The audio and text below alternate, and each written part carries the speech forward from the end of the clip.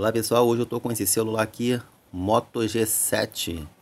Eu vou ensinar para vocês como fazer para o computador voltar a reconhecer o meu dispositivo. Primeiramente, você vai abrir a página de gerenciador, aqui ó, gerenciador de dispositivos. É só ir na barra de, pes de pesquisar e escrever gerenciador de dispositivos. Você vai clicar então aqui ó, em gerenciador de dispositivo.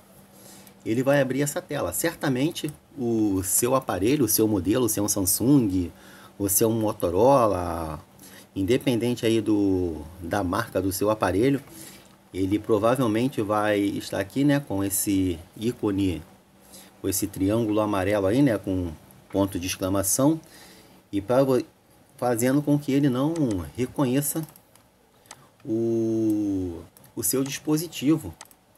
Deixa eu mostrar aqui para vocês, organizar aqui. Quando você vai aqui em computador, né? No, em meu computador, ele não reconhece.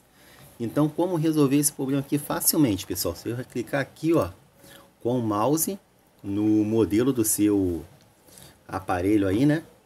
No gerenciador de dispositivo, com o botão direito do mouse, você vai clicar aqui em atualizar drive.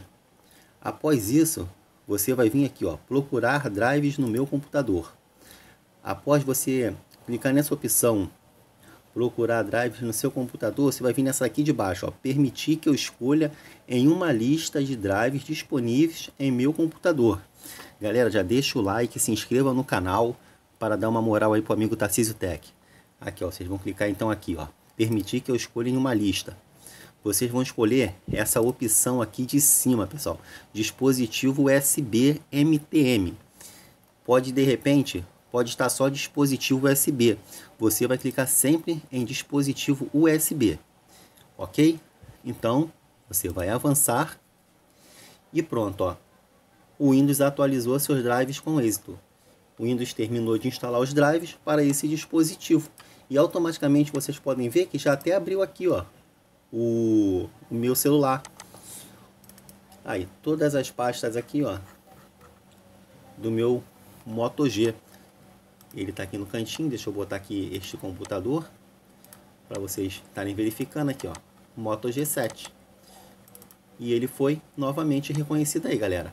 Valeu, gostou da dica? Se inscreva no canal, deixa aquele like. Aqui, ó, quando você fechar, ó, ele já some até o o triângulozinho ali, ó, com o símbolo de exclamação.